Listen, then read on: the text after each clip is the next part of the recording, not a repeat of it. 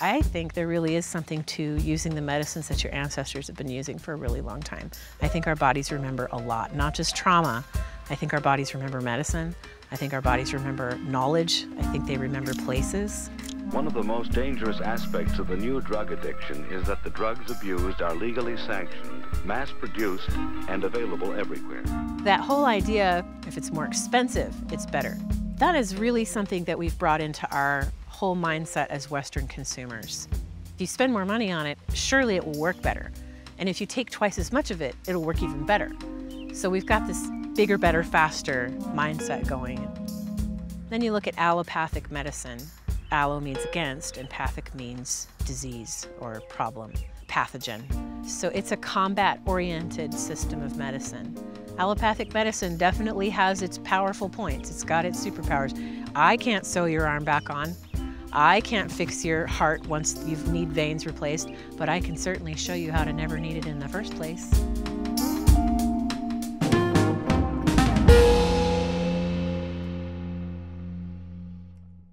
This program was made possible in part by a grant from Anne Ray Foundation, a Margaret A. Cargill philanthropy.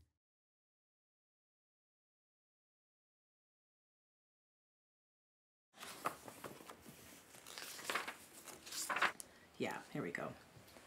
So the medical name is sal- salicinum. This is just, yeah. The discovery of salicin is claimed by Buchner of Germany and Fontana and Rigatelli of Italy. But M. Leroux of France deserves the credit of having first accurately investigated its properties. Because no one used willow bark before these guys.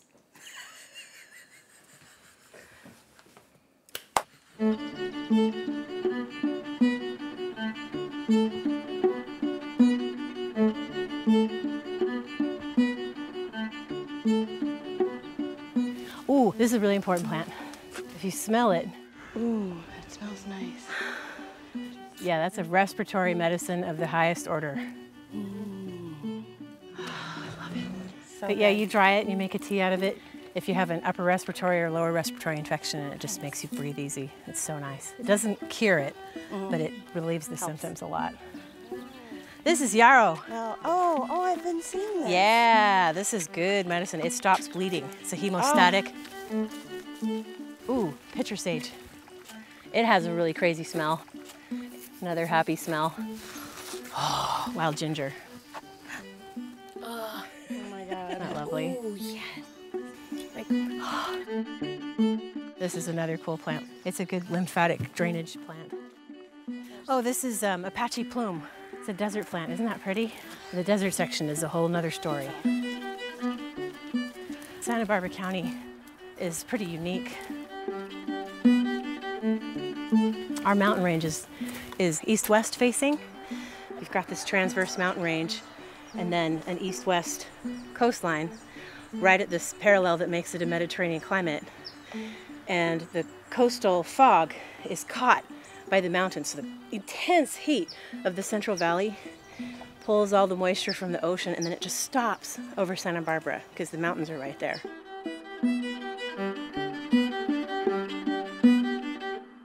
The botanical diversity is just off the hook. It's a special place. Our ancestors had to be master horticulturalists.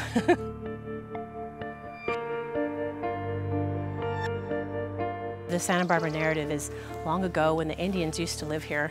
They had a really nice life, but they didn't work much. And then the missions came and enlightened everyone and saved them. And then diseases killed them all. Everyone died. End of Chumash. Isn't Santa Barbara beautiful?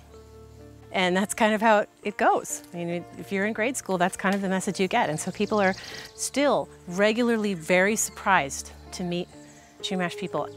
It's a very different story, and it doesn't start with the mission.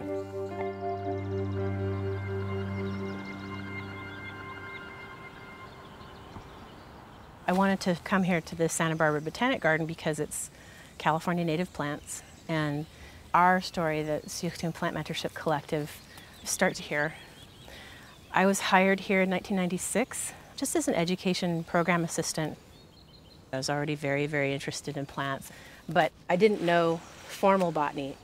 I knew that my ancestors had had a system that was as sophisticated with the genocide of the missions, a lot of that knowledge had been completely wiped out.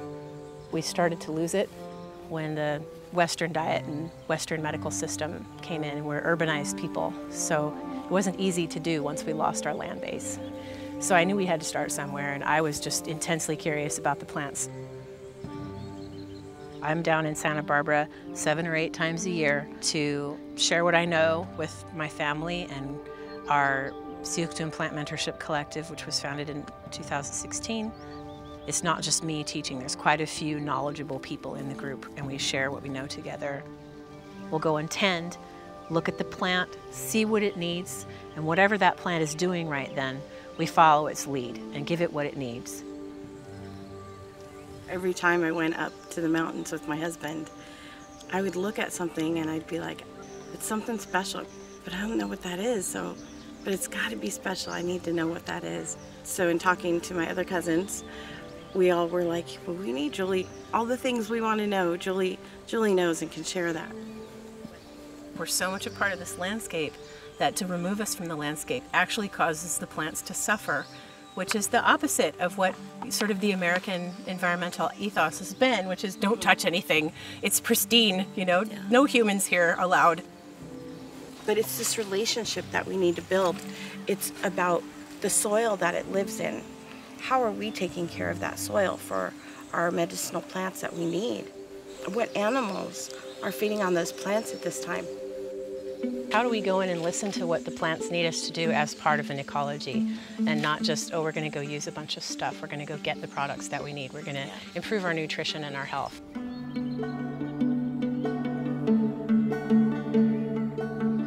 historically, the pharma industry has gone out into the natural world to look for unique compounds that have some health benefit. If you're in the pharmaceutical industry, your intention is to come up with a new compound, some new entity, whether it's a small chemical or a protein, some new drug that can deliver a health benefit, that can treat or cure a disease, and that you can sell for a profit. Relax. Try the fastest relief known. Doctors prescribe most. The sooner you take it, the better you'll feel.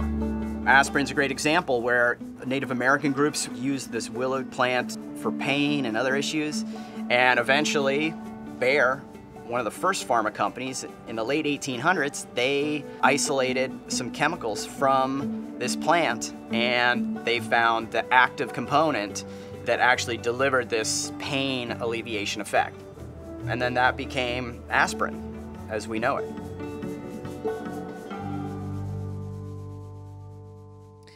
Braconnot procured it by adding subacetate of lead to a decoction of its bark, precipitating the excess of lead by sulfuric acid, evaporating the colorless liquid which remained, adding near the end of the process a little animal charcoal previously washed, and filtering the liquor while hot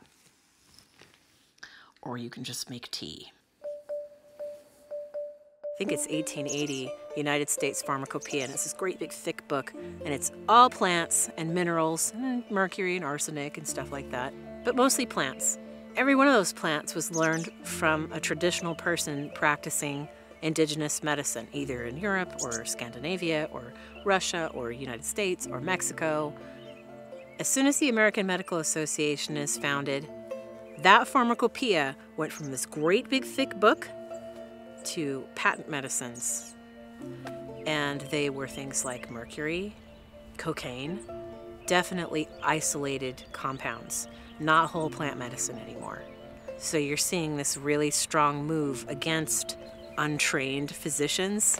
So, in other words, people who were in control of their own food and medicine and childbirth.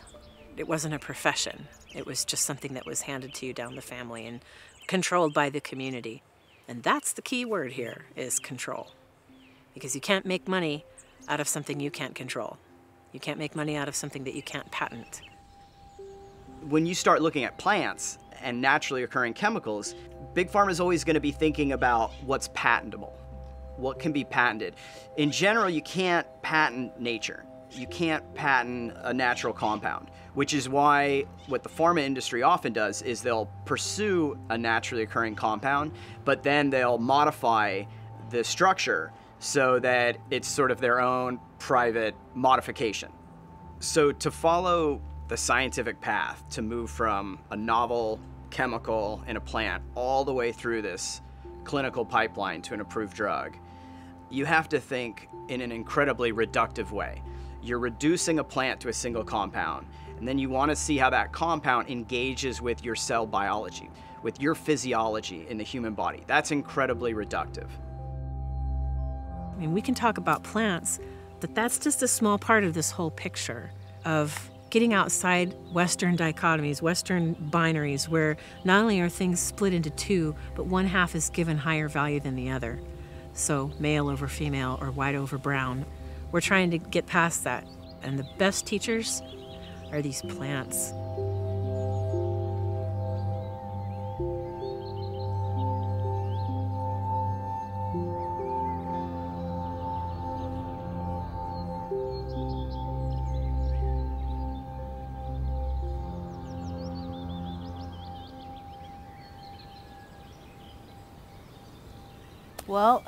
So happy everyone's here.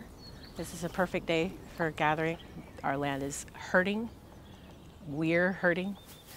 We need to heal. Our land needs to heal, and we can't do it separately. It has to be together. So we're here to help our land. Our land is here to help us. With that, I would love to get us together in a circle and say thank you to the land and thank you to everybody that's helped us access that land and get out in it.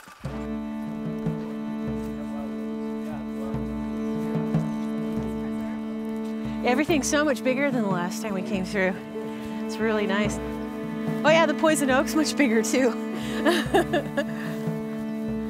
oh, look at the roses. Oh, they're doing great. Most rose family plants, and it's a huge family, are gentle astringents, which is really good for um, intestinal mucosa issues when you need to tighten and tone your mucosa starts here and ends on the other side. And so everything that's going on from that point to that point um, can really benefit from something like rosehip tea, which also has a lot of vitamin C in it.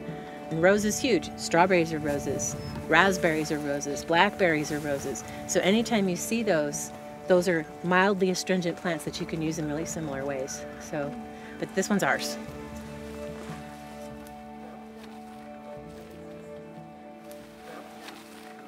Hemlock. This plant is so toxic that if you pinch the leaves and touch your tongue, you will go to the hospital. Mm.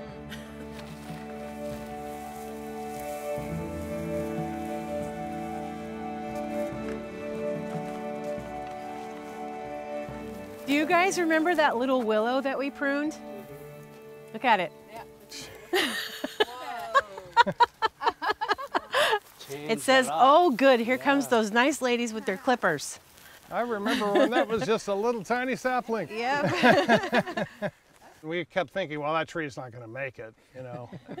it's a wetland plant, you know. And then we came along with our clippers and said, we love you so much. So happy. And, and it went, thriving. Does anybody remember what I said about willow bark? Willow bark's one of those ones you learn about when you first start learning plant medicines. The aspirin? Yes, yeah. exactly. Yeah, toothaches? Yeah. I've used. I've used toothaches, it. yeah, it. it works. It's incredibly bitter, but it works. Mm -hmm. Yeah, it yeah. did.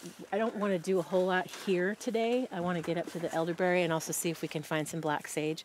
But this plant is now telling us, nice work. I have lots for you. And I don't think we should overlook that hospitality. Mm -hmm. So if we don't get a little bit today, I would love it if people from the collective could come back while I'm gone. I got to learn the desert plants. So, um, yeah, Look, so pretty. Mm. They're really similar. They're both salvias, and they have, they both have really strong antibacterial qualities. But for me personally, when I'm trying to kick a, an oncoming cold or a flu, um, the leaves are best. You can also use the flower heads, but I like to leave flower heads behind so that they'll seed. Dog bane's better for nuts. How beautiful is, is that? Fantastic, oh. milkweed fibers. Make it awesome. the, same, the same way? Yeah, exactly the same way with the bast fibers on the outside. The look really closely at the flowers. They're super fancy. Mm -hmm. They're upside down. Yeah. Isn't that cool? I think often there's the necessity of like reimagining things to come to a new reality. And I think there's an opportunity in California specifically for the return to what we've always done as a way to move forward.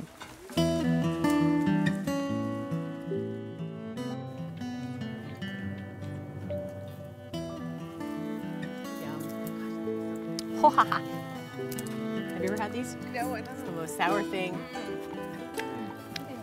Yeah.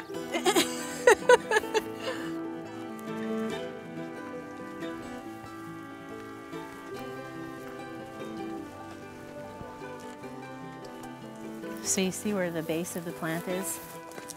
Right down in there. Oh yes. We're kind of working out from there.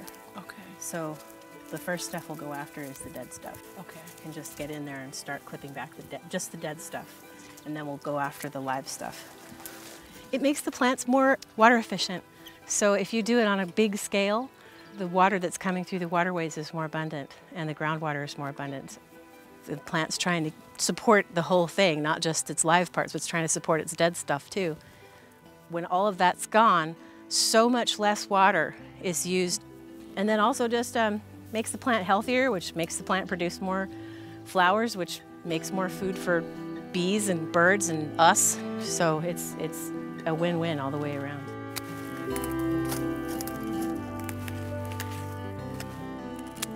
We'll put the brush right here in a pile. I'll start chopping up that because we'll use it for mulch around the bottom of the plant when we're done.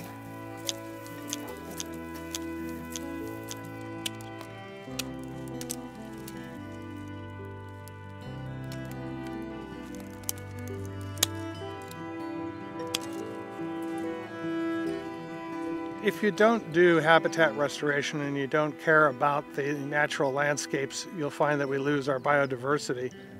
We don't know what we're losing in biodiversity when we wholesale destroy native landscapes. Previously, it had looked like this landscape here, which is, you know, 95% black mustard, uh, European uh, annual that was introduced. It took about five years to uh, turn that into this. Uh, but this is a much more diverse environment with about, oh, I'd say 20 different plant species. We flipped the ecology around from being, say, 95% non-native to 95% native, and it looks to be successful.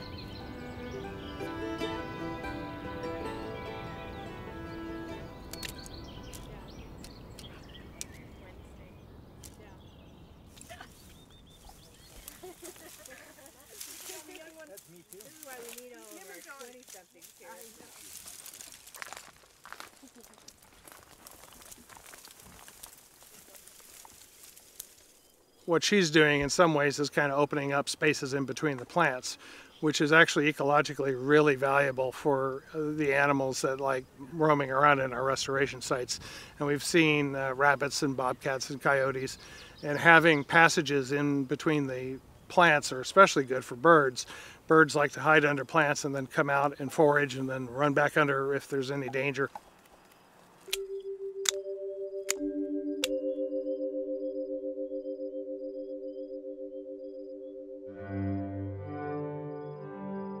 This is what everyone needs to be doing on this planet.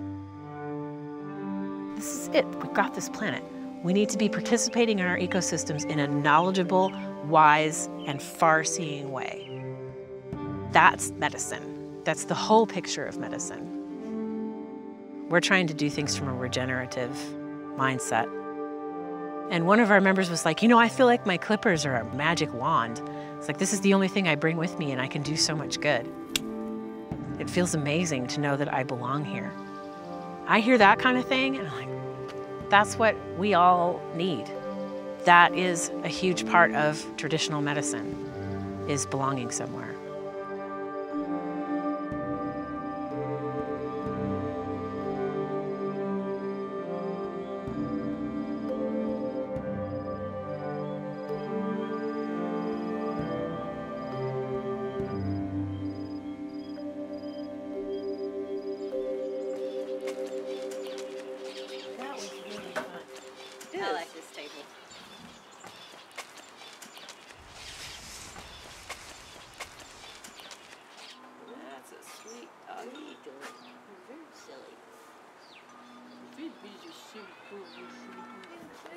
Dora? Yes, this is my daughter Angie. Angie, this is Ayumi. Ayumi? How's everything? How are the twins? Hi. It's good to see you. How's everything? How's Lily? Here, we should move. I say Siuchtun. You say Siuchtun. Siuchtun. Siuchtun. Siuchtun. I've always heard it was Siuchtun, but it's close. It's in there somewhere. but that's the village name. There's so many reasons why we needed to do this, and the only the only thing we could think of not to do this was our lack of um, access to some places. That's our one obstacle. Yeah. How can we come overcome that one obstacle to make this happen for all these multi, multitude of reasons? Right. Even if you do own a nice parcel like this one, you can't grow enough of our medicinal plants here to serve a community. You have to have whole ecosystems for that. And even the little slices that we have aren't enough to serve an entire community, but it is enough to teach a community. Yeah. So we decided that since traditional ecological knowledge is held as a collective, as a community property, um, that it should be called the Syuxtun Plant Mentorship Collective. Oh, that's so funny. it smells so good all of a sudden. We're gonna do just our standard simplest three things with these guys. We're just gonna save out the really pretty stuff for tea and band it with the string over there, get it ready for drying. And then with the other two, we'll cut some up into this bowl and tincture it, and then we'll cut some more up into the bowl and put it in these for oil. Let me just start handing you nice stuff and you guys can start tying it up.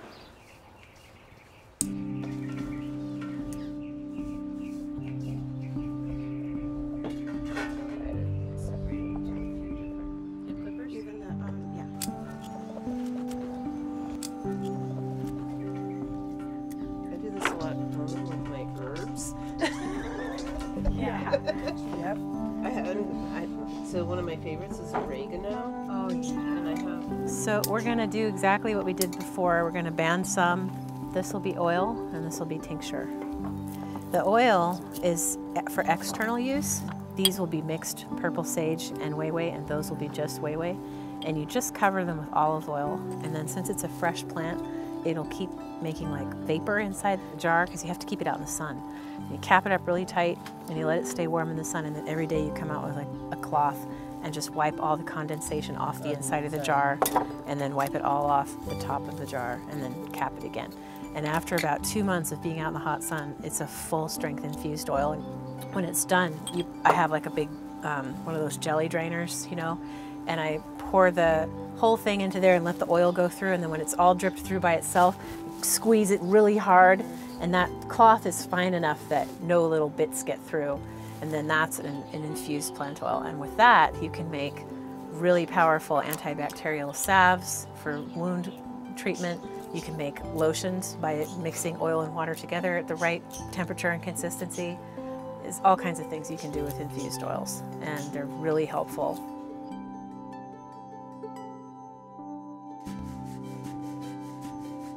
When is the last time you sat at a table with 15 or 20 of your closest relatives and worked on something like that for several hours?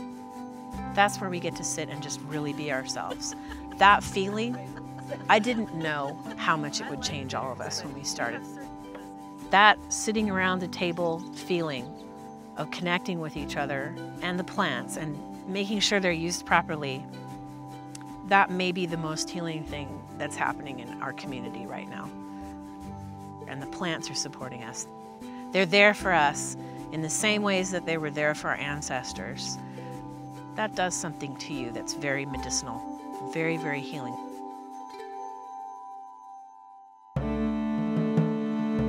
when you think of Western medicine, opioids being like that quick fix to pain, our medicines are not a quick fix to a symptom.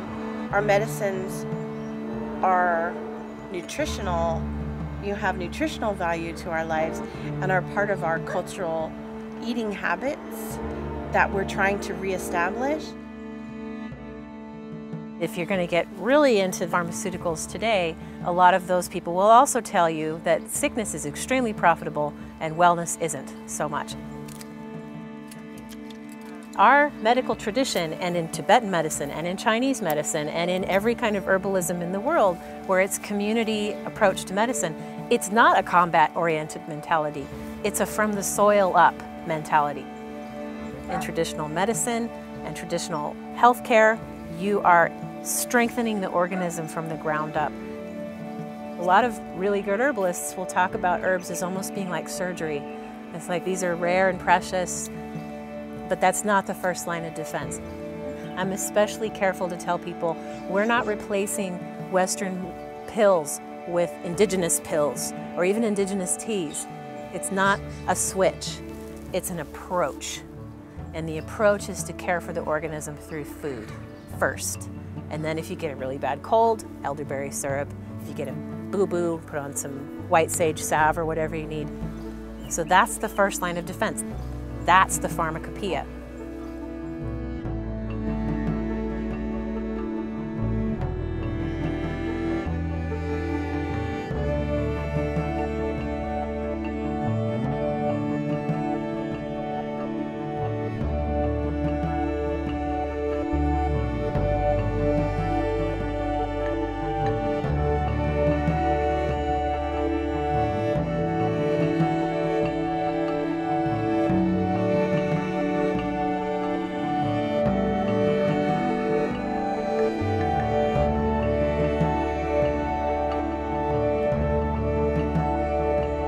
This program was made possible in part by a grant from Anne Ray Foundation, a Margaret A. Cargill philanthropy.